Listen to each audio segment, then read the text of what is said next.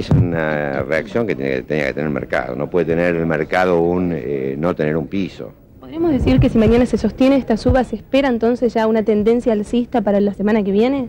Yo creo que quebró la, la tendencia de baja, yo creo que la quebró hoy. Este no es un problema local ni obedece a lo fundamental de la economía local. La economía local creo que sigue sólida, más allá de que pueda tener alguna retracción a partir de estos inconvenientes. Creo que puede haber un par de días, digamos, de recuperación parcial de los valores, hay que estar muy atento, pero probablemente lo peor de la película la hemos visto.